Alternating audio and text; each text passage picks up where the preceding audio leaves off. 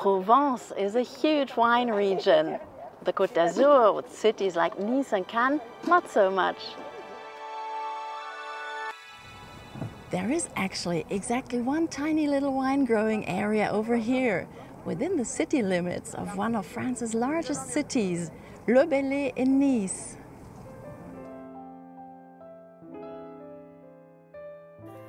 So, today we're not only taking you to the most famous winery in Nice, we're also helping with the grape harvest. And we're revealing how Coco Chanel came up with her iconic logo. Yep, there's a direct link to the Chateau de Crémat in Nice.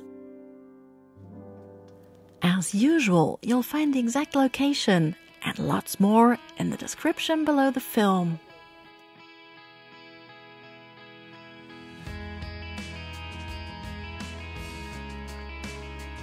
It's harvest time. The grapes are ripe and just starting to dry, which is the perfect moment to get at them.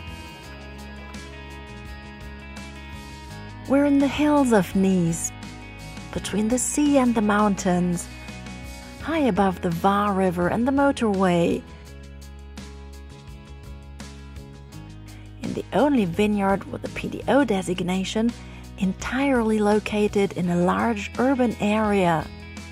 Back in the day, the Romans already grew wine right here. A peculiarity of the vines of Chateau de Crémat is they are planted on man made terraces, supported by stone walls called restanques. Une autre spécificité, c'est son sol, c'est le terroir, c'est le poudingue.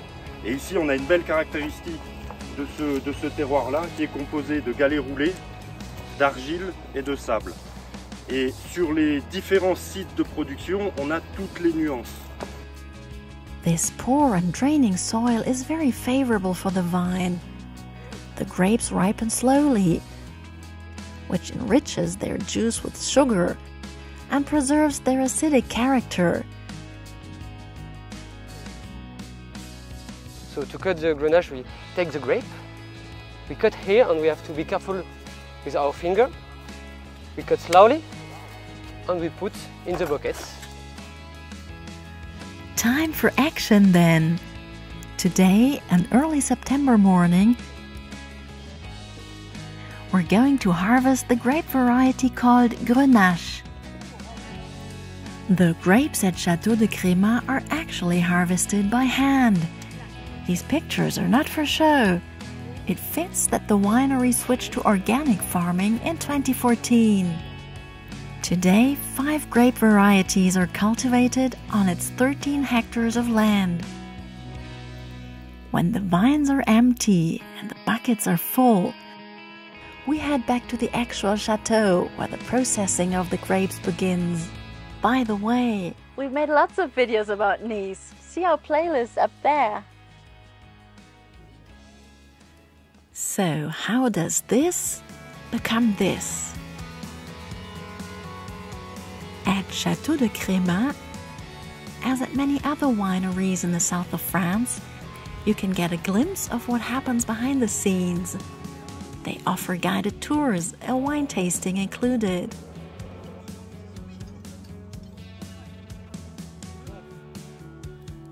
After Niels has delivered the grapes from the field, he pours them onto the first conveyor belt, crate by crate. We make sure everything is nicely spread out on the belt and pick out stray leaves. The next conveyor belt moves the bunches of the grapes up into a large, jerking silver machine. And out come the green stalks, while the separated grapes are moved up to the next level, where they slide down into the press. From the field to the sweet, delicious grape juice. It takes mere minutes. Cheers! But to mature into a round wine, patience is needed in the barrel. The dark, chilly wine cellar of Chateau de Crémat, with its oak barrels for red wine dates back over a century. And part of the old setup is now only decoration.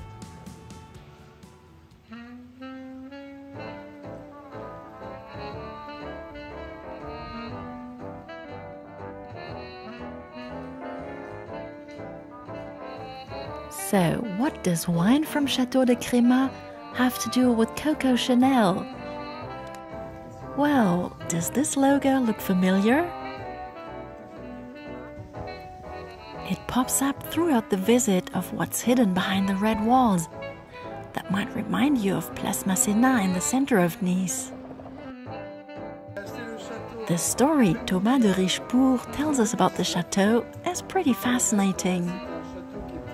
The impressive building in Neo Tuscan style dates back to 1906, and its then owner played a major role in redeveloping the Bellet vineyard. In the roaring 20s, Irene Bretz, a wealthy American, took over the chateau, carried out extensive renovations, and hosted sumptuous parties with all the celebrities of the Côte d'Azur, including a certain Coco Chanel.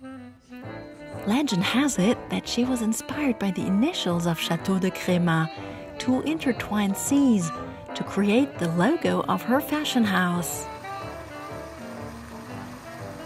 The chateau has seen several more owners over the decades. The current one, a family of French industrialists, renovated the rooms to recreate the Roaring Twenties. Using furniture from the Ritz Hotel in Paris, purchased at auction, including pieces from the Coco Chanel suite.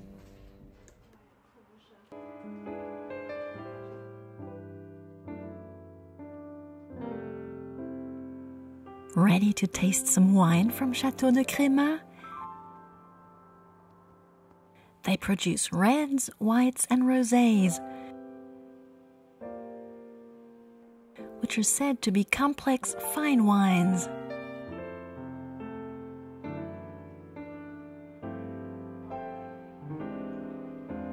You can just show up in the boutique at the entrance of the property for a tasting. Or you could do a full tour of the chateau like we did. See the description below the film for more information. If you're into wine, we made several videos about Provençal villages this summer, and most of the time we also did a wine tasting. Why don't you have a look?